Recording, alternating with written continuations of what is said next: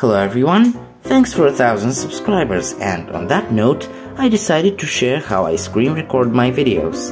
This may be considered as a sort of monitor overclocking by the way.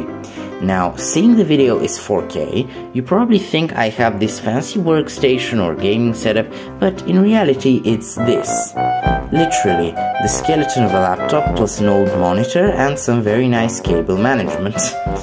To achieve a higher resolution than my monitor supports, I first go into the Intel HD graphics control panel and change the aspect ratio to shrink the output horizontally.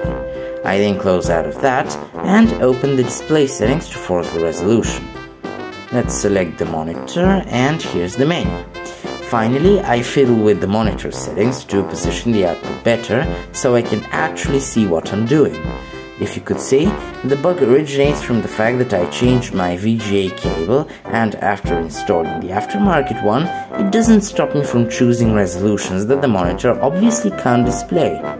And that, ladies and gentlemen, is how to overclock your monitor and appear to have a better PC than you actually do.